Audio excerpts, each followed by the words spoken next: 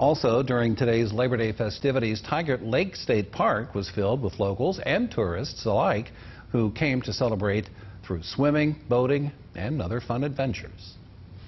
Oh, it's so gorgeous. Yeah, I'm from Florida, so this is just Totally different. totally different, and uh, I'm loving it. We plan on using the tube. Uh, we, ha- we haven't had it out for a few years, so we're going to let uh, Samuel and my daughter have some fun out there. He's on the boat right now. waiting. We're going to go into a no-wake area. We're going to have lunch. We're going to swim. Uh, I'm going to throw a pole out for a little while, see if I can catch a fish. Now, to find out about future fall events happening at the park, we also have their event information on our website again, WBOY.com.